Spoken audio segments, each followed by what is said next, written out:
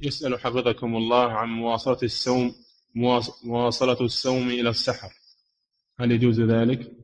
هذا جائز لكن الأولى خلافه. الأولى يفطر عند غروب الشمس. هذا هو الأولى والأفضل ولكن لما رأى النبي صلى الله عليه وسلم أن أصحابه حريصين على المو... على على الوصال رخص لهم إلى السحر. رخص لهم إلى السحر. فدل على أن الأفضل أن يفطر الإنسان عند غروب الشمس. هذا هو الأفضل.